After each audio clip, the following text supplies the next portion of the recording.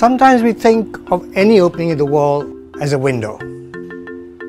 A jali is not a window. A grill is not a window. Even a fixed glass in a wall is not a window. As I told you in the last episode, a window is an adjustable device, something that can be adjusted to your changing requirements. Before the use of glass, a window is opened to connect to the outside world. When opened, it let both light and the outside air to come in. And when the window was shut, it was done so as to cut off the outside world and to keep the light, the air, the sound, and everything else out of the room. But the use of glass in windows has changed the game. It has made windows more flexible. One can keep the window shut to cut off the noise and outside air and yet let in light and have a view of the outside world. So, the reason for opening the window is to get some fresh air in, to cool the room, or get the stale and stuffy air out, or both. In many ways, it works as a rudimentary thermostat or the primary device to control the temperature in a room or in the house.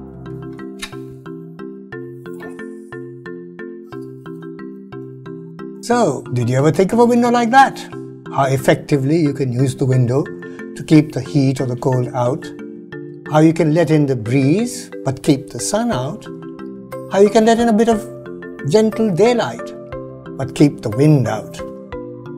Now, in order to do all of that, obviously a window has to be a very well executed design. But much of this is common sense. Let's first look at a very basic design. The most common window that we see in India is the traditional side-hung casement window.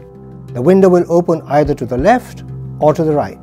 If you want to take advantage of the prevailing breeze, and the breeze happens to be blowing at an oblique angle, not blowing straight on, then obviously it matters which direction the window opens. Will it catch the breeze and direct it into the room, or will it, on the contrary, block the breeze? If the breeze is blowing from the right, the window should open to the left in order to catch the breeze, and vice versa. This is just common sense. But let me show you a better option. How about a window in which two shutters meet in the middle? You can open either or both of them to catch the breeze from all directions. No wonder, this is what we see built in most of our homes today. The next thing is that you don't want the window to blow about with the breeze. And depending on the breeze or the temperature of the air, you often want to open the window partially. Now, there are window stays that enable you to do that. I always recommend the telescopic window stay. You can adjust the opening of the window to your best advantage. What can you do if you have a single shutter window, which will open only in one direction? Well, the solution is to use a friction hinge. These are now widely available for different sizes and weights of windows. They are more expensive and need careful installation, but they do have their advantages. You can open the window to whatever extent you want and the hinge will hold it in position by its own friction. The window will not blow about in the wind. A separate window stay is then not required. But more importantly, when the window opens, it leaves a gap between the window shutter and the hinge side window frame. Now, you have a much better chance of catching the breeze from all directions. On the upper stories of tall buildings, say from the 10th floor upwards, there is often a problem of the breeze being very strong. In such situations, a top hung window with a strong friction hinge works very well. A little opening provides the gentle breeze you want. What about the PVC or aluminium sliding window? I'm somewhat skeptical about this type of window. Its advantage is that you can adjust the opening to any size, but you cannot open more than half the window width in a two track window. And you can't direct the breeze into your room in the way you can do with a side hung casement window. How many of us remember the ventilator? A device that was widely used before air conditioners came in. It used to be installed at the top of the wall to let in a bit of light and to allow the hot air to escape. In warm and humid climates, it would be in the form of an open grill or a louver under shade so that the harsh light could be kept out but the air would be allowed to flow through. In climates that are very hot or very cold, the ventilator would be a panel that could be closed or opened according to the season. Now, this brings me to my next point how to cross ventilate your home, especially in the warm, humid season. Cross ventilation is a very effective way of becoming comfortable during the humid season.